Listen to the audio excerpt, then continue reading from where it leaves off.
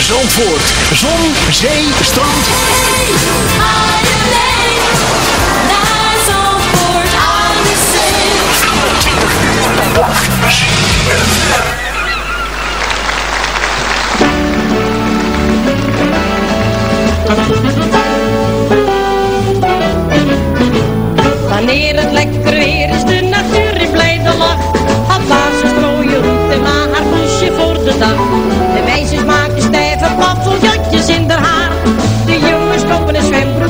Dan is het zaakje klaar.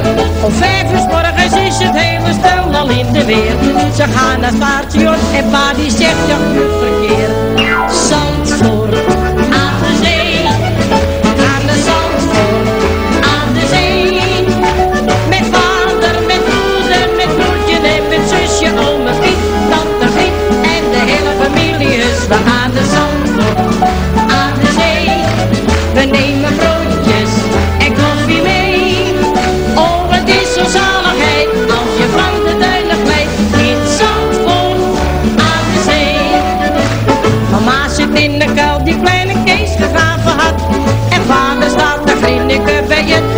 Bad. Mama zegt dat er man een oude slijmer is. En dan roept zij uit, nou kind, de zee is hier zo fris. Ze plaster deelt bij brede sfeer haar vaaier op omhoog. Maar plotseling roept ze gil, de zee zit in mijn ogen. Ga naar Zandvoort,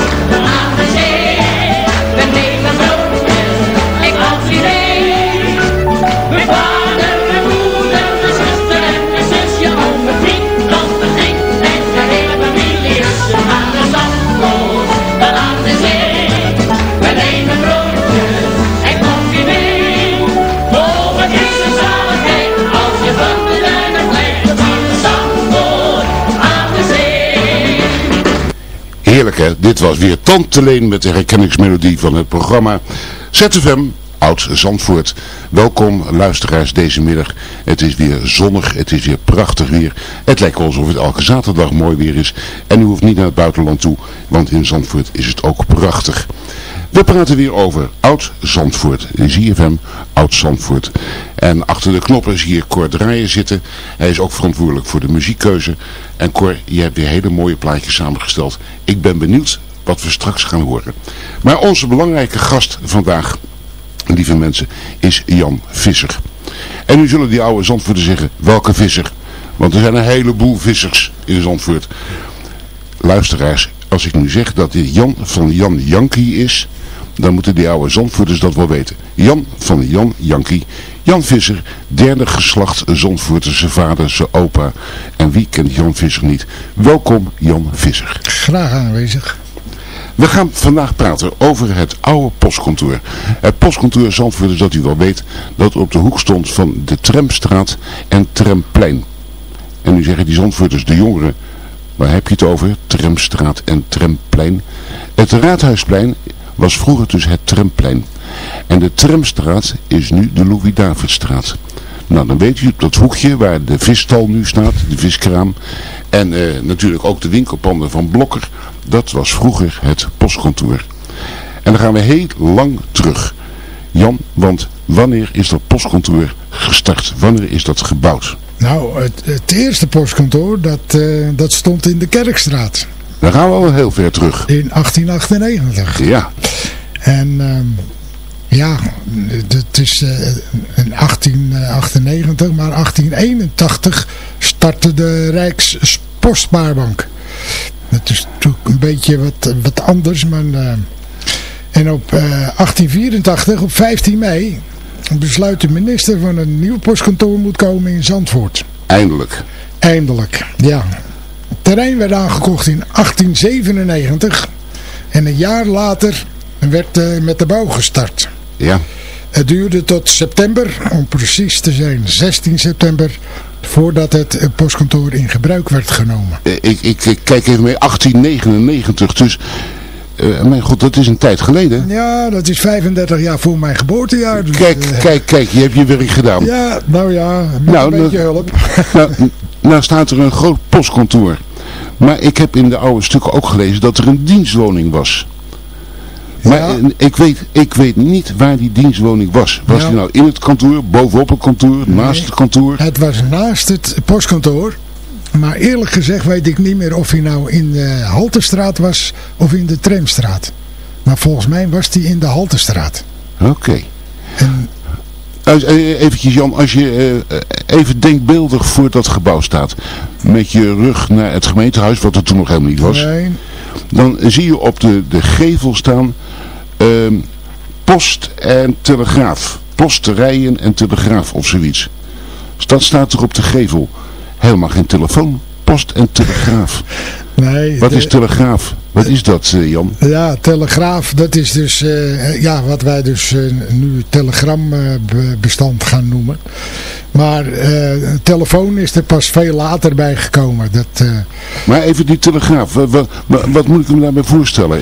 nou ja, een telegraaf, eh, dat is in de begintijd geweest dat eh, de mensen met het sleuteltje aan de hand eh, aan het seinen waren. En dan eh, kwamen de telegrammen binnen. Morsetekens of zo. Mors, met, via Morse ging dat inderdaad. Maar ook dat is eigenlijk voor mijn tijd hoor. Dus eh, dat heb ik zelf niet zo meegemaakt daar zo.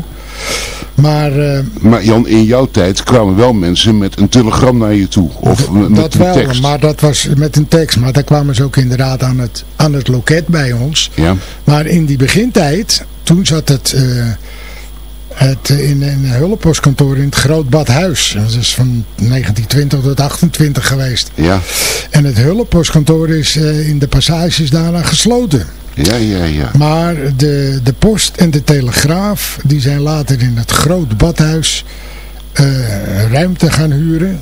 ja. En dat is geweest voor, schrik niet, 1150 gulden. Nee, niet per maand, maar per jaar. Nou, is toch een hoop geld in die ja, tijd. in die tijd is het natuurlijk toch wel. En het kantoor was ook alleen maar open in de zomer, hè, van juni tot en met september. Ja, ja. En eh, hadden ze nog klanten in die tijd? Nou, ik zal u vertellen, de eerste maand juni 1920 eh, liep het eigenlijk wel storm op dat hulppostkantoor. Hoezo? De cijfers voor u, gestorte postwissels, wie kent dat nog? 1600. Nee, wat is dat? Wat is dat? Nou, daar werd dus eh, geld gestort via een postwissel en die ging dan naar een ander persoon ergens in de landen. Ja, En die kon daar dan weer zijn geld ophalen. oké.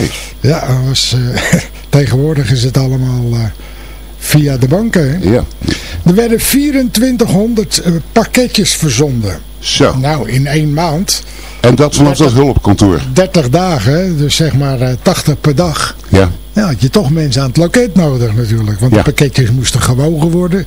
Ze mochten niet te groot zijn, want er waren allerlei afmetingen waren eraan verbonden. maar die postzegels waren toen wel wat goedkoper. Ja, dat was een centenkwestie inderdaad. Dat was een centenkwestie. En bovendien, schrik niet, de ontvangen pakketjes, die waren daar zelfs een meervoud van. 8100 Alleen in één maand. in één maand, de eerste maand juni. Maar die moesten ook bezorgd worden. Eh, die moest ook bezorgd worden. En daar hadden ze dus de, de voor. De, En, en, en ik heb wel eens gelezen dat er in die periode, nou praten we dus over eh, 1920 zeg maar, dat ze vijf keer per dag liepen. Dat heb ik ook gehoord. Uiteraard eh, ben ik daar zelf nooit bij geweest. Maar eh, ja, vergeleken met nu, als ze één keer per dag eh, komen, als je, eh, Ja, dan... eh, ja en, en, en weet je wat het is? Weet je wat het is? Ik, ik krijg eh, vijf bestellingen per dag van allemaal verschillende mensen. Maar niet van, van de PTT, ja die komt één keer per dag. Maar de bussen die ik hier in het dorp zie, die rode bussen, die zijn gewoon van de PTT. ja, Hoe krijg ik dan die andere post binnen die opeens in mijn bus valt? Dat is niet van de PTT. Nee, maar je hebt natuurlijk veel meerdere postbezorg eh, eh, installaties, wou ik zeggen. Ja, Firma's die dat verzorgen. Dat, ja, eh, ja. Dus eh, ja, het, eh, het is allemaal eh, heel veel veranderd in ieder geval. We gaan even naar de muziek luisteren.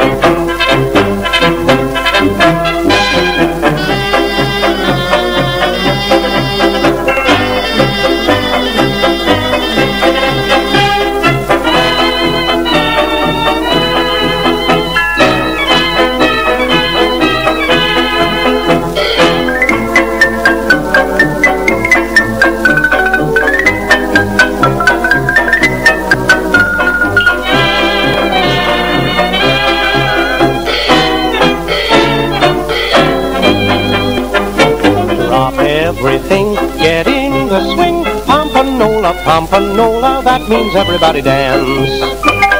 Kick up your heels, how good it feels. Pompanola, Pompanola, you can learn it at a glance. Let's go, kicking high, dipping low, how can Karen Wall advance? Come everybody strike up a band, teach every man. Pompanola, Pompanola, that means everybody dance.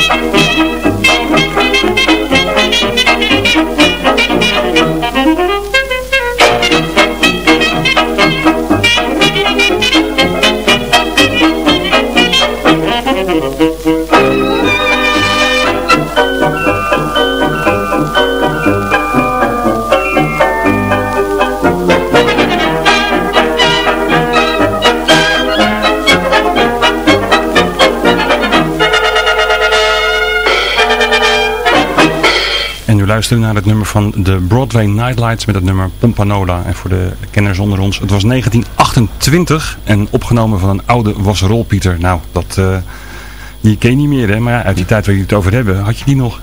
Cor, Cor, Cor. Heb je zoveel tijd om dit allemaal op te poetsen en schoon te maken? Complimenten voor hoor. Ja, nou, er zijn tegenwoordig cd's waar het op staat. Ik oh, ik vind het geweldig. Lieve luisteraars, eh, we zijn, eh, dit is programma ZFM Oud-Zandvoort. En we zijn eh, in gesprek met eh, Jan Visser. En voor degenen die later hebben ingeschakeld, als ik zeg Jan van Jan Jankie, dan weet u wie dat is. Dat is de bijnaam van Jan Visser. Jan Visser die eh, heeft eh, veel interesse en kennis van het oude postkantoor. En dat is het onderwerp waar we deze middag over praten. In het eerste blok hebben we het gehad over eh, de start. Wanneer dat postkantoor is gebouwd en wat er toen allemaal gebeurde. En ook in het hulppostkantoor in de passage wat er allemaal verzonden werd. Maar ja, op een gegeven moment komt na post en telegraaf komt ook de telefoon. Eh, Jan, wanneer was de eerste telefoon in Zandvoort? Ja, dat, ehm, in 1928 eh, werd de naam eh, staatsbedrijf van de posterijen, de telegraaf en telefonie. En krijgt het postkantoor in Zandvoort een eigen grote telefooncentrale. Zo. Hierdoor kon men ook nationaal bellen. Internationaal moest nog altijd via Radio Scheveningen en ruim van tevoren een gesprek aangevraagd worden. Op de afdeling werkten acht personen. S'avonds en in het weekend werkten er twee. De telefooncentrale hier in het postkantoor. Ja, Ja. Maar eh, nou eventjes, ik, ik heb begrepen dat er ook een Zandvoorts telefoonnet en veel ouder was. Ja. kon alleen in Zandvoort bellen. ja dat was een, een lokaal telefoonnet. Ja. Dat is eh, ingesteld in 1908. Ja. En eh, in eh, 1915 was er zelfs een telefoonboek eh, samengesteld. Dus dat, eh, dat was een heel apart geval inderdaad. Want ik eh, kan me herinneren dat eh, bijvoorbeeld de firma Brokmeijer, had het telefoonnummer 2. En de firma Bakels had het telefoonnummer 11. Ja, de, de ene, of zoals ze dat netjes opgeschreven hebben, ene openbare spreekcel is gevestigd in het post- en tele- telegraafkantoor. Maar de publieke telefoonstations, eh, die waren er wat meer van. Er waren eh, inderdaad bij nummer 1 Antonie Bakels. Eh, twee bij de heer Michels in de passage. En eh, gedurende de, de sluitingsuren van deze post- en telegraafkantoor is er ook geen gelegenheid tot het voeren van gesprekken vanuit de openbare rijksspreekcel. Geweldig. Ja, als je daar buiten was, dan, eh, ja, het was niet anders, dan was je niet bereikbaar. Nou, nou heb jij ook achter een telefooncentrale gezeten in jouw werkzame leven. Hoe ging dat? Nou, de eerste kennismaking voor mij was een drama. Waarom? Want ik, eh, ik was helemaal geen telefoon gewend. Ik was eh, in in 51 ging ik eh, van de vierjarige Mulo af hier, de Wim Gertenbach school, die ze zo netjes afgebroken hebben in de afgelopen dagen. En ik heb me toen aangemeld bij de posterijen. En dan kreeg ik een, een stoomcursus bij de Leidse Gracht in een van die herenhuizen. En daar werd je dan klaargestoomd voor een loketfunctie. Maar telefoon heb ik daar ook nooit mee gekregen. Toen kwam ik hier op Zandvoort op het telefoonkantoor te zitten, op de postkantoor te zitten. En daar hadden ze een hockey waarin de, de telefoons werden ontvangen en doorgegeven. En op een gegeven moment zei ze dus, Jan, jij eh, vandaag dienst, telefoondienst. Nou, voor een jongen die eh, nog nooit een telefoon in zijn handen gehad had, heeft dat wat zweetdruppeltjes teweeggebracht bij me, kan ik u wel vertellen. Na een paar dagen ben je daar dan wel Je hebt geen lelijke woorden gezegd?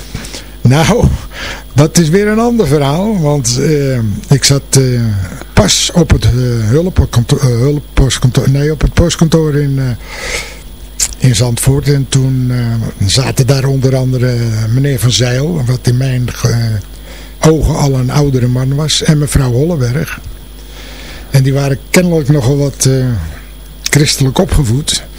Dus in mijn onschuld eh, werd, er gebeurde er iets. Ik weet niet eens meer wat. Maar toen liet ik een eh, grote GVD hardop door de postkantoor rollen. En ik werd onmiddellijk werd ik op mijn vingers geticht eh, door meneer Van Zeil. Dat eh, zulke taal, dat werd op het postkantoor niet gebruikt. En of ik daar maar in de toekomst eh, van verschoond wilde blijven. En dat heb je ook gedaan. En dat heb ik uiteraard, voor zover ik me dat kan herinneren, heb ik dat ook gedaan, ja. Maar ja, dat, eh, dat zijn van die dingen die er zo nu en dan nog eens bij komen natuurlijk. Mooie periode. Ja, ik heb, er, ik heb eh, eh, tamelijk kort heb ik daar gewerkt. Want ik, eh, ik zeg het, ik heb eh, op eh, in 51 eh, heb ik mijn examen gedaan. Toen heb ik eh, die cursus gevolgd in Haarlem. En daar heb ik in het postkantoor op Zandvoort gezeten. Tussendoor nog even in Bloemendaal en op het hoofdpostkantoor in Haarlem. En 1 april 54 eh, werd ik opgeroepen voor de militaire dienst. Dus We gaan nog eventjes terug naar die periode dat jij dat postkantoor in Zandvoort binnenkomt. Even voor de luisteraars. Eh, beschrijf eens hoe je daar binnenkomt. Waar was de ingang en wat zie je dan als je binnenkomt? Nou, de, Wat zag je? De ingang was helemaal op de hoek tussen de Tramstraat en de Haltestraat. En dan kwam je eerst in een klein portaal. Ja, misschien was het wel groot ook, ik weet het niet meer. Maar in mijn gedachten was het klein. En dan moest je linksaf deuren door en dan kwam je in de, in de hal voor de klanten. En daar, Wat zag je in die hal, in die hal voor de klanten?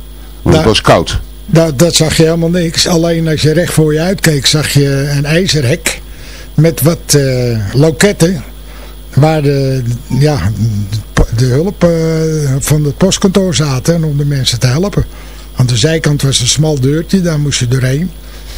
En dan, eh, ja, dan had je daarachter had je de grote ruimte met de tafels. En daar werd dan... In die hal kan ik me herinneren dat een grote potkachel stond. Een enorme kachelwand. Ja, hoe die gestookt werd weet ik ook niet. Nee. Want het was koud af en toe. Het, eh, ja, ik moet u eerlijk zeggen, het, eh, nee, die, die weet ik niet eens meer. Zo. We gaan, weer, en, we gaan weer even naar de muziek luisteren.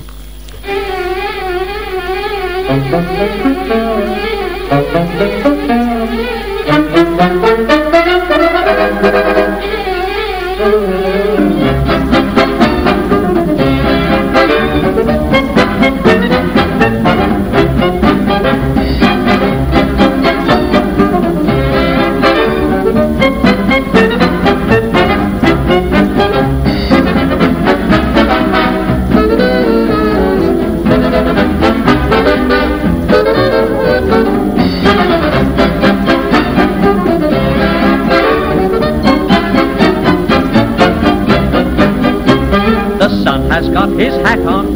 Hip, hip, hip, hooray. The sun has got his hat on and he's coming out today. Now we'll all be happy. Hip, hip, hip, hooray. The sun has got his hat on and he's coming out today. He's been tanning niggers out in Timbuktu. Now he's coming back to do the same to you. So jump into your sunbath. Hip, hip, hip, hooray. Sun has got his hat on and he's coming out today. All the little birds are singing, all the little gnats are stinging, all the little bees in twos and threes, buzzing in the sun all day.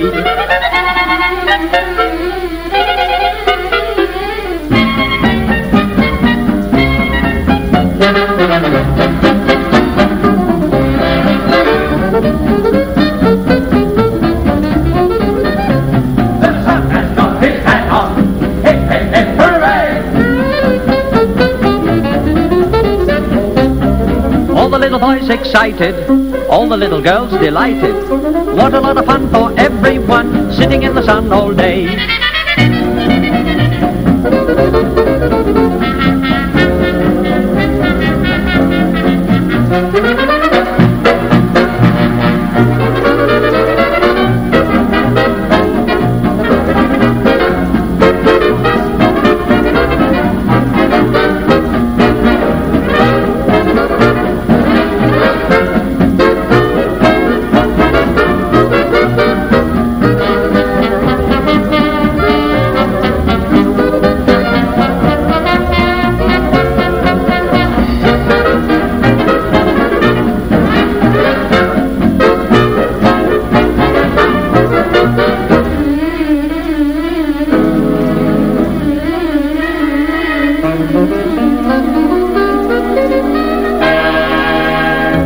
Luisterde naar Ambrose en his orchestra met The Sun Has Got His Hat On. Een hele toepasselijke, maar vreemde eh, woordspeling. Want ja, een zon met een hoed op, dat is een beetje lastig. Eh, we gaan verder naar met eh, Pieter. Je hebt weer je best gedaan, Cor. Ja, ik, ik vind het altijd leuk om dit soort muziek weer eens te draaien op de radio. Want ja, Ja. je hoort het nooit meer. Nee, precies. En zeker voor onze oudere Zandvoorters is dat erg leuk om te horen. We zijn aan het praten met Jan Visser. Jan van Jan Jankie over het oude postkantoor in Zandvoort. Eh, welkom eh, luisteraars met het programma CFM Oud Zandvoort. Eh, ik was net denkbeeldig met Jan Visser aan het lopen door het oude postkantoor. We hadden de hal gehad met potkarrel of niet. En vervolgens een lekker klein deurtje door. En dan komen we achter de tralies. Want daar gebeurde het. Jij zat er ook achter een loket. Ja, daar En heb ik... wat moest je verkopen? Ja, wat moest je verkopen? Alles wat op, op postkantoor in die tijd eh, beschikbaar was. Dat waren dus uiteraard postzegels van 1 en 2 cent. Kom daarna maar eens op. Eh, daar werden de pakketjes ingenomen en eh, gewogen en gemeten. Want we hadden speciale meetlatten dat het vooral niet een te groot pakket mocht zijn. Want dan Wat- kon postbesteller, gebeurde dan kon de, nou werd hij teruggestuurd. Werd niet geaccepteerd. Want dan kon hij niet in de, in de tassen van de postbestellers. En, eh, dus dat gebeurde ook nog wel eens een enkele keer. Dat ze gewoon met een te groot pakket aankwamen. Ja, en dan eh, nog... Heb je gekke dingen meegemaakt achter het loket? nou, Eh, lastige mensen, kwaaie mensen, verdrietige mensen.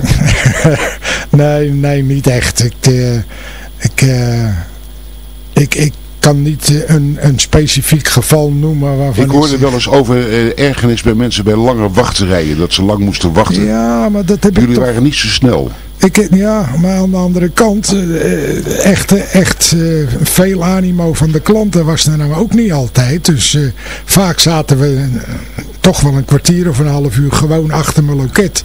Zonder dat ik klanten had. En dus eh, dat eh, kwaad ma- maken dat ze te, te laat geholpen werden, dat eh, is heel sporadisch geweest. Wat waren de werktijden, Jan? Werktijden. Ja, nou moet ik echt eh, een beetje met... eh, Hoe laat, hoe laat s morgens stond jij? Kijk, normaal, normaal eh, ging het kantoor open om 9 uur en dan moesten wij om half negen aanwezig zijn. Want eh, die kreeg je kast natuurlijk, dus die moest je installeren. En eh, één keer in de week eh, werd er een wisseldienst ingediend. Dan moest je om 5 uur s morgens aanwezig zijn. Dat is vroeg. Want dan werden de, de postpakketjes van Haarlem binnengebracht. En de aangetekende stukken, en, eh, de aangetekende stukken moesten door de loketambtenaar met de hand op lijsten worden ingevuld. En eh, met kopietjes daarvan. Want de postbesteller kreeg dan zo'n lijst mee. En die moest dan de ontvanger laten tekenen. En als hij terugkwam laten controleren dat er inderdaad getekend was. En dat eh, kan ik me nog wel goed herinneren, ja. Maar ehm, En tot laat was je werkdag. in principe van 9 tot 6, denk ik. En geen pauze. Ja, nou moet ik weer even nadenken. Wat stom is dat van mezelf, zeg. Eh, ja, ik, ik zal ongetwijfeld een, een eh, eetpauze gehad hebben of zo. Maar ik kan, me, ik kan me toch niet herinneren dat we op een vaste tijden een, een lunchpauze hadden. Nee, want die klanten die staan voor de deur en die willen post hebben. Ja, het, het, het, eh, ik denk inderdaad dat het ging op de manier van... Nou, nou is het even stil. Jan, ga even een sneetje brood eten. Dat... eh, Met hoeveel mensen zaten jullie achter die balie? Als het eh, echt druk was, zaten we met z'n drieën erachter. Maar in, in principe eigenlijk altijd met z'n tweeën. Er waren altijd twee loketten open. En ehm, ja, mevrouw Holleberg, die kan ik me nog goed herinneren daar. Leen, eh, Leen van der Werf. Die later nog hoofd postkantoor van Bloemendaal geworden is. En me daar ook nog een tijdje naartoe gehaald heeft. Dat kan ik me ook nog herinneren. Leen heb ik jaren mee gevoetbald. Dus had ik een goede band mee. En eh, ja, en dan daarachter, daar zat dan de, de baas in een afgesloten ruimte, de, het hoofd van het postkantoor. En was toch wel min of meer een heilige man voor ons. Was Waarom? niet, niet zomaar benaderbaar. Daar moest je, Waarom? ja, ik weet het niet. Dat was in die tijd niet zo. Als je, Met de pet in je hand. Je zou niet zomaar het kantoor gaan binnenlopen. Je moest echt... eh, Eerst een schriftelijk kloppen. verzoek. Eh, nou, zo erg was het nou ook weer niet, maar het, eh, het, eigenlijk kwam het daar wel op neer. Het, je, je moest echt van tevoren, als je wat had, moest je dat van tevoren kenbaar maken. Kregen jullie allemaal een fiets? Nee, wij hebben, ik heb nooit een fiets gehad. Alleen de postbestellers die... Oh. Nee, Ja, want het is natuurlijk een wezenlijk verschil de postbestellers en de mensen die op de post Ja, werken. dat is, dat is inderdaad. Dat was ook een heel andere opleiding. Dat, eh het, eh ja, nee, je- ja, wat, eh, al dat papierwerk en al dat, aan dat loket, daar moest je toch wel het nodige administratieve werk... Klopte de kas altijd, Jan? nou, eerlijk gezegd niet. ik heb het meegemaakt. dat is misschien op zich wel een leuk verhaal. Ik heb het meegemaakt dat ik 100 gulden overhield. Zo. Nou is 100 gulden in die tijd is natuurlijk enorm veel. En eh, ja, ik heb dat toen toch gemeld aan, aan eh, de baas van het postkantoor. En die zegt, nou, we leggen het vast. En eh, als er binnen zoveel tijd, een jaar of weet ik het, weet, dan niemand komt, dan, dan is het geld voor jou. En ik ging eh, dus de militaire dienst in. En toen werd eh, alles nog eens een keer nagekomen. En toen kreeg ik inderdaad mijn 100, euro, mijn 100 gulden. Dus dat was een enorme meevaller voor mij. Ja, dat is eh, een Je kijkt nog steeds enthousiast. Ja, dat, dat is eigenlijk ondenkbaar voor mij. Dat je... Ja, ik, eh, ik, ik, ik vond het niet terecht dat ik het kreeg. Want ik vond dat het niet van mij was. Maar ja, Het is toch de meegenomen. wetten van de postkantoor. Ja, toch maar lekker meegenomen, ja. Leuk, je hebt er gebak voor gekocht voor het hele Ik zou het personeel. bij God niet weten. Volgens mij heb ik het aan mijn vrouw gegeven. We gaan weer even naar de muziek luisteren.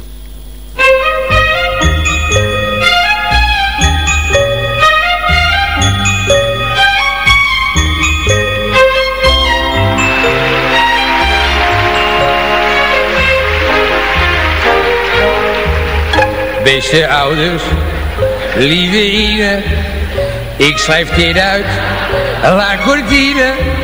En dat was lachen onder het eten. Onze generaal is door een slang gebeten.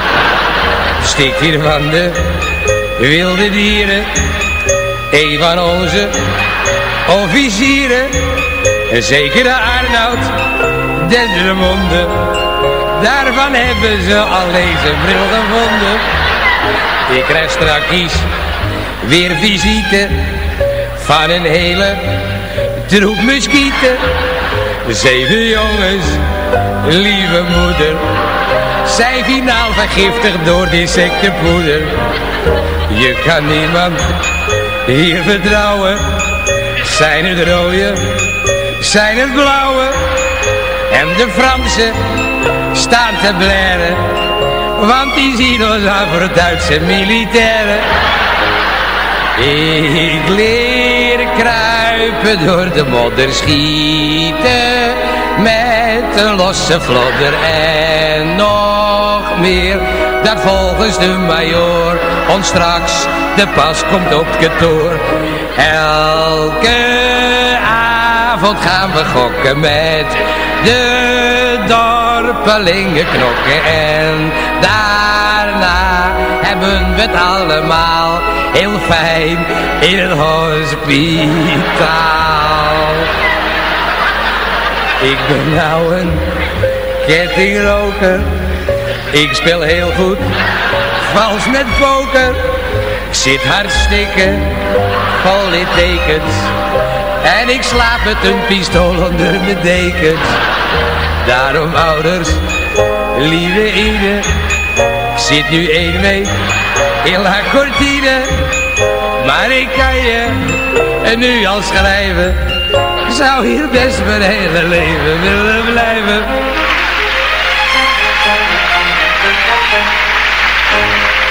En het was uit 1964 gereikt de gooien met een brief uit La Cortine in het kader van de briefbezorging in Zandvoort, Pieter. Ja, ja, ja Cor, we zitten hier gezamenlijk mee te zingen, want het is zo'n bekend lied voor ons. En eh, toepasselijk, lieve luisteraars, omdat het eh, te maken heeft natuurlijk met het postkantoor, het oude postkantoor op de hoek van de Tramstraat en eh, de Haltestraat, Tramplein. Zeg maar nu het Raadhuisplein, Haltestraat en de Louis-Davidstraat. Daar stond het oude postkantoor. En daar praten we over met een eh, belangrijke man, Jan Visser. Jan van Jan Jankie, en nog maar eventjes voor de oud-Zandvoorters, die daar gewerkt heeft. Eh, Jan, eh, ik, ik heb hier een stukje gevonden over die dienstwoning. Ik vond het toch wel grappig om dat even voor te lezen. Eh, in 1935 is er een brief gestuurd naar de Rijksgebouwdienst. Want dat was de, degene die alles eh, moest doen in de kantoren van de staatsbedrijf, de postkont- post en eh, telegraaf. En dat briefje dat luidt als volgt. Aan de directeur-generaal der PTT te Schravenhagen. Via den heer inspecteur der PTT te Haarlem. En aan Rijksgebouwdienst te Schravenhagen. Onderwerp in zaken de toestand der woning behorende bij de PTT al hier wordt het volgende te uw kennis gebracht. Dit gaat over de dienstwoning. Hoewel in het algemeen moet worden gezegd dat na het verven van zolderingen, muren enzovoort de woning er keurig uitziet, valt de toestand van de trap en gang des te meer op, aangezien deze niet in het toegestaande verfwerk waren begrepen en thans een zeer haveloze aanblik vertonen.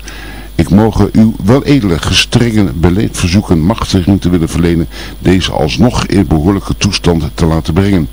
Verder is de woning geheel verstoken van aanleg van bad en vaste wastafels. En aangezien ik in bezit ben van een badinstallatie, verzoek ik u mede uw welwillende medewerking om in de badinstallatie en één vaste wastafel aangebracht te kunnen worden. Met een districtswerktuigbouwkundige te Haarlem besprak ik deze aangelegenheden en deze was ten volle overtuigd van het billijke van mijn verlangen. Als ik dit zo lees, Jan, dan moet het eh, toch moeilijk geweest zijn om het gebouw steeds bij te werken. Was het haveloos? Nee, het was beslist niet haveloos. Tenminste, die indruk heb ik nooit gehad. Laat, dat, laat ik dat vooropstellen. De vloeren, de wanden, het zag er netjes uit. Eh, ja, het zag er netjes uit, maar wel allemaal donker. Ja, dat herinner ik me ook. donker. Het, is, eh, het, het was niet zo dat je een bank binnenkwam met een, mooie lichte hal en eh, bloemen en planten en weet ik het allemaal. De lichten moesten aan om het werk te kunnen zien. Inderdaad, ja. Zo was het wel, ja. Ja. Kon u ook naar buiten kijken? Eh, aan de Haltestraat waren ramen. Dus je kon zien wanneer er weer een trouwerij was? Dat, eh, daar hebben we ook menigmaal naar gekeken, ja. Dat, eh, Snoepjes rapen? dat was, nou, snoepjes rapen moest je naar buiten, hè. Dat- Ja, dat mocht niet. Nee, nee, nee, stel je voor, zeg. Nee, dat was niet toegestaan. Ik kan me van mijn huwelijk herinneren dat mijn broer die had een, eh, een goede sterke armen en wij hadden wijnballen waar we hem strooiden. En mijn broer zei geef er eens een paar en die gooiden ze door de ramen heen bij jullie. Ja, die waren dan van ons. Ja, ja, dat, eh, dat, dat is één, één keer gebeurd. Nou, we weten nu meteen wie het gedaan heeft. mijn broer was dat. wat, voor, wat, voor, wat voor collega's had je daar omheen? Ja, collega's, ik, eh, ik had dus ik, eerder genoemde mevrouw Holleberg, die zat ook aan het loket. Die heeft er heel lang gezeten. Die heeft er heel lang gezeten, ja. Die, eh, die zat er al jaren toen ik kwam en toen ik wegging, zat ze er nog steeds. En datzelfde geldt voor de heer Van Zeil. Ja. En eh Lee van der Werf, daar heb ik ook mee gewerkt daar op postkantoor aan het loket. En die is dus later eh hoofd postkantoor van eh, Bloemendaal geworden. Ja, en voor de rest moet ik u eerlijk zeggen. Ik, eh, eh, zo 1, 2, 3 komen er geen namen eh, van eh, loket eh, mensen bij me op.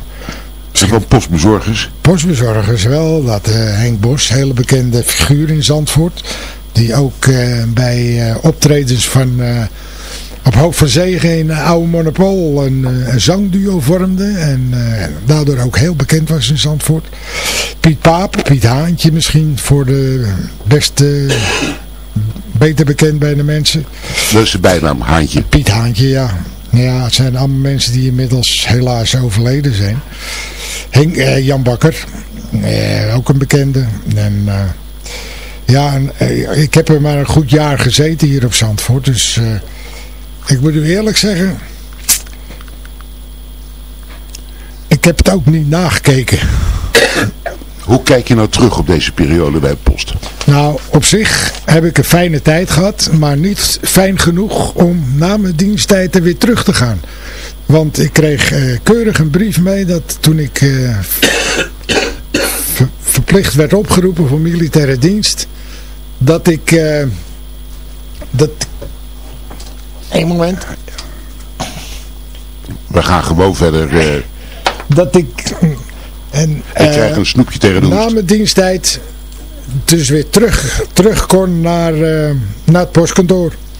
En dat is niet gebeurd. Dus wat precies de beweegreden geweest is van mij weet ik niet. Misschien was het toch niet mijn, eh mijn pakje Jan, het postkantoor. Maar Maar het gebouw, ja, dat is niet eh, zo lang gebleven. Dat is gesloopt. dat is in 1978 gesloopt. Nee, ja, het, eh, Dan gaat er wel een stuk herinnering gaat er weg. Als ik de tijd terug, in de tijd terug ga dat ik daar werkte en ik kijk hoe het centrum er toen uitzag van Zandvoort. En eh, nou nu door al die zandvlaktes heen lopen eh, om heen te kijken, dan... eh, nou ja, tranen wegpinken is een groot woord, maar ik vind niet dat dat nou allemaal erg te goede veranderd is. Dat, Want wat had je in die tijd aan de overkant? De Twentse Bank. Je had, eh, ja, je had, je had uiteraard eh, de, de tramhalte eh, met, met de schapenhokken. En eh, ja. Eh, Ook daar ben ik als jongen regelmatig naar Bertje ben ik toegegaan. Want we hadden thuis nog geen douche. Zo werkte dat hè, in die tijd. En Bertje was... Bertje die was badmeester. Oké. En dan kreeg je een... eh, moest je een muntje kopen. Ja, en dan dan, moest je een muntje en dan werd precies op tijd. Er werd genoteerd hoe laat je eh, erin ging. En eh, nou, als het te lang duurde, dan werd er op de deur geklopt. En dan, dan, was, je- ja, dan was het weer gebeurd. Maar een mooi centrum was het, Zandvoort. Ja, dat, ik, ik vertel, ik, het, in mijn herinnering is het, was het een geweldig centrum. Ja. Vooral die, eh, daar bij de, de, zeg maar de tramhalte, die, die, eh, zo'n zo, zo, zo, zo'n halve muur er nog eh, met, met plantenbakken. Je hebt nog meegemaakt dat natuurlijk groepen mensen in die schapenhokken stonden te wachten op de tram. Dubbele rijen, ja, dubbele rijen, tot zelfs in de, in, in de de tramstraat. Ja, dat, eh, dat was eh, heel pittig soms. We gaan weer even naar de muziek.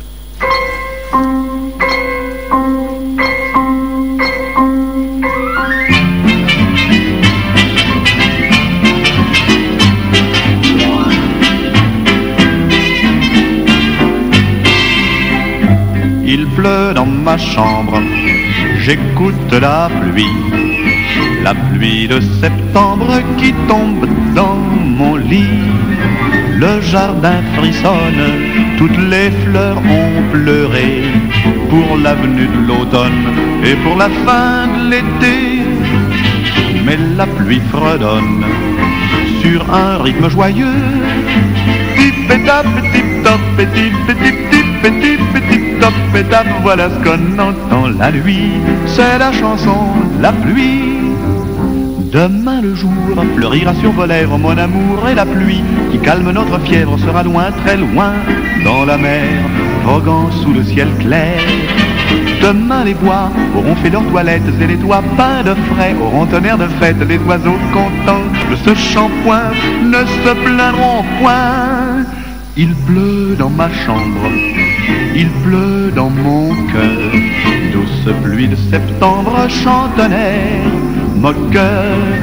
Dans toute la campagne poussent de beaux champignons. Et dans la montagne, le vent joue du violon. Tous les chats de gouttière chantent et dansent en rond. Tip et tap et tip top et tip et tip tip et tip tip top et tap. Voilà ce qu'on entend la nuit, c'est la chanson de la pluie. Il pleut dans ma chambre, il pleut dans mon cœur. Douce pluie de septembre chante un air moqueur. Dans toute la campagne poussent de beaux champignons. Et dans la montagne, le vent, le vent joue du violon.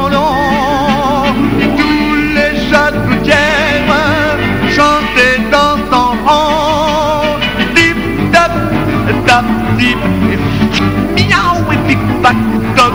Voilà ce qu'on entend la nuit. C'est la chanson de la pluie.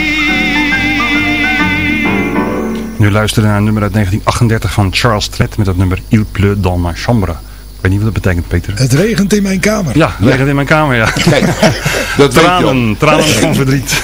Cor, dat weet Jan. Jan Vis, die weet alles. Nou, alles is overdreven. Nou, veel wel. We, we hopen. Luisteraars, dit is het programma CFM Oud Zandvoort. En we praten met Jan Visser over het eh, oude postkantoor, de omgeving, wie er werkte, hoe het er van binnen uitzag. En vooral voor de oudere Zandvoorters, die weten dat nog donders goed. Eh, het postkantoor is in 1978 gesloopt. En we kijken toch met ledenogen af en toe even terug naar dat Raadhuisplein en zijn omgeving. Wat was het toen leuk, wat was het mooi. Maar ja, de herinnering is altijd mooi natuurlijk. Maar als je nu de zandvlakte ziet en je ziet school B weg. En je moet je maar afvragen wat er terugkomt. Eh, het wordt een beetje hoog, het wordt een beetje breed. En dat nostalgische, dat is een beetje weg. Mag ik het zo zeggen, Jan? Ja, zo mag je het inderdaad zeggen. En ik moet je ook zeggen, ik, ik, ik vind persoonlijk geen, eh, geen verbetering allemaal. Maar aan de andere kant, als je daar echt over in zit, dan zal je er zelf wat aan moeten gaan doen. En ja, die animo heb ik ook niet. Dus ik, eh, ik wil niet te veel klagen. En eh, inderdaad wat je zegt, een goede herinnering, die is eh, Is ook wat waard. heel fijn om die te hebben. Ja. Als we nog even terugkijken naar het postkantoor en alle namen. We zijn begonnen, zo staat het op de gevel van het oude postkantoor, posterijen en telegraafkantoor. Wat is er veel veranderd na de post en telegraaf? De Ja. naam, de naam van, toen was het dus in feite PT, post en telegraaf. Als PT is het begonnen. Ja. En toen kwam de telefonie erbij. En toen werd PTT. het PTT. En eh, op een gegeven moment werd het koninklijk. Dus eh, de PTT. En eh, ja, Toen werd het KPN. ja, KPN. Waar staat KPN voor? Koninklijk Pakket Nederland volgens mij. Het, eh, ja, het, werd, het werd dus koninklijk. Ja. Prachtig allemaal. Maar het is... eh, ja, En wat voor namen zijn daarna gekomen allemaal? Want Nou ja, daaruit, daarna zijn nog, eh, volgens mijn informatie, ik weet het niet uit mijn hoofd uiteraard, maar TPG-post, telefoon, posterij en Giro, denk ik. Ik weet het eerlijk gezegd niet. En PTT Telecom, nou ja, Telecom is duidelijk, dat is echt van de latere tijd. En TPG-post, eh, ja, dat werd dan later weer veranderd in TNT-post. En ook dat eh, was geen blijvertje, want eh, inmiddels is het eh, Post NL geworden. En eh, dat betekent wel steeds onder paar jaar nieuwe pakken voor de postbezorgers. ja, ja kennelijk komt dat, hè. De kledingindustrie die gaat er goed bij. Kennelijk komt dat. Daar zullen ze, misschien eh, zat hij er wel achter, Ja. wie zal het zeggen. Maar de rode bussen staan nog steeds in het dorp. En ik heb het maar steeds over de PTT hoor. Ja, het is het, is het meest vertrouwde eigenlijk. Ja. Hè? Het, eh, ja, als je een brief post, en, eh, dan zoek je toch naar een rode postbus. Dat, eh, Maar nu gaat het, eh, laat ik zeggen, het nieuwe postkantoor, dat gaat ook weg. Per 1 juli heb ik begrepen. En wat dan? Dan hebben we geen postkantoor meer. Nee, nee. Dan moeten we naar de Bruna voor een postzegel.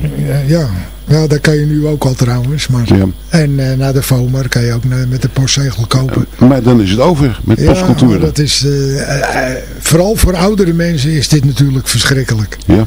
Want die zijn zo gewend geweest om eh, nou ja, naar het loketje te lopen en te, te worden geholpen.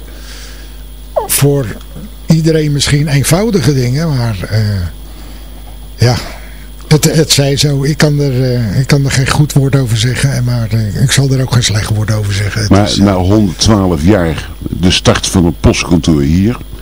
Na 112 jaar is het afgelopen. En is het nu gewoon bij een winkel ergens je postzegeltjes kopen. ja. Ja, als je erover nadenkt is het natuurlijk een hele trieste zaak. Ja. Dat, eh, ja, het is niet anders, denk ik dan maar weer. En nogmaals, als ik het anders had willen hebben, dan had ik er wat aan moeten gaan doen in de tijd dat het kon. Bestaat een telegram nog? Bestaat dat nog?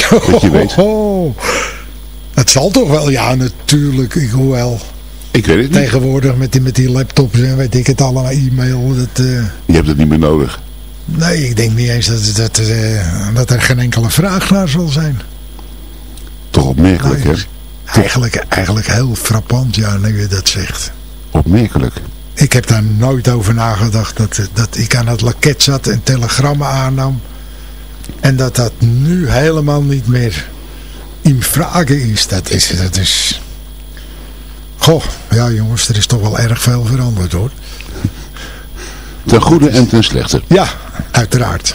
Maar het is opmerkelijk dat we straks geen postkantoor meer hebben. In Zandvoort. Ja, dat is, eh, vind ik persoonlijk heel erg jammer. Want, eh, ja...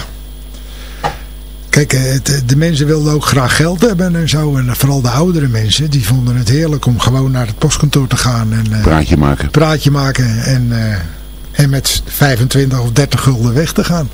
Ja, ik kan me herinneren dat tante Ans Blauwboer in de hal zat. Met de kinderpostzegels en dergelijke. Ja. Dat, eh, Kinderpostzegels, ja, ook zoiets, hè.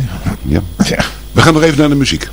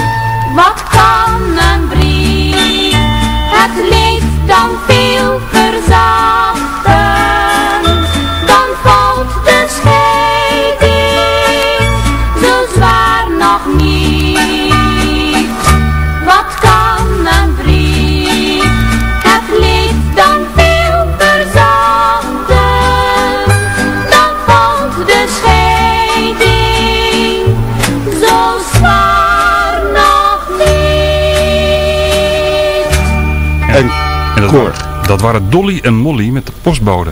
Ja, wat toepasselijk vandaag. hè? Ja, ach. Lieve luisteraars, we zijn eh, bij het laatste stukje aangeland. En we praten met eh, Jan Visser vandaag. Eh, we hebben het gehad over het oude postkantoor. In het kader van het programma ZFM Oud Zandvoort.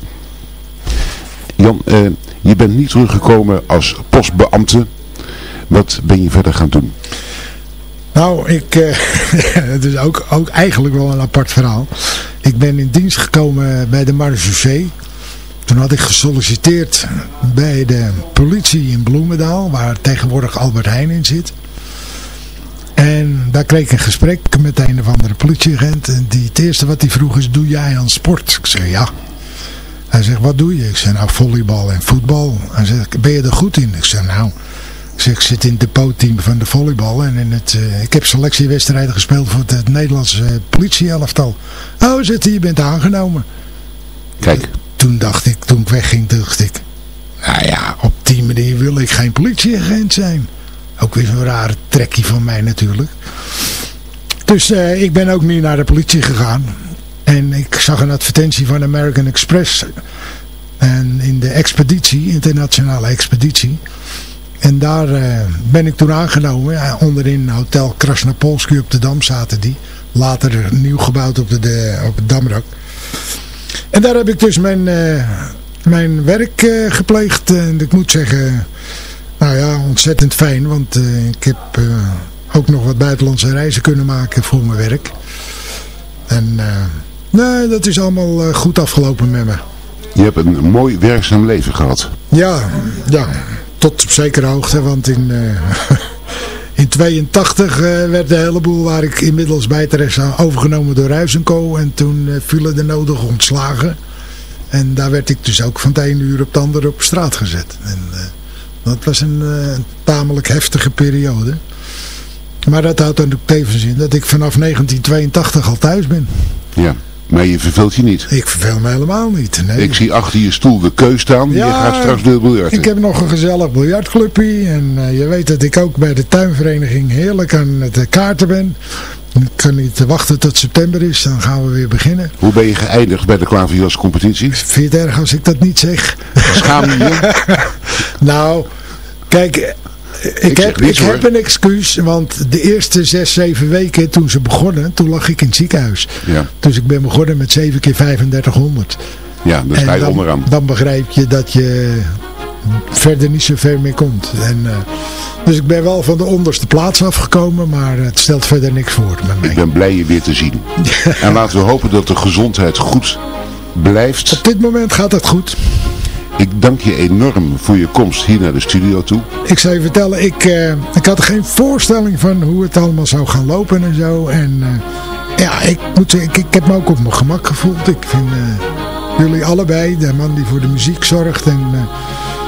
Enorm goede manier om mij op, op mijn gemak te stellen. En dat Hebben we graag gedaan, mijn complimenten. Hebben we heel graag gedaan. Lieve luisteraars, dit was het programma ZFM Oud Zandvoort. We hebben vandaag gepraat met Jan Visser. Jan van Jan Yankee, dat is even voor de Oud Zandvoorters.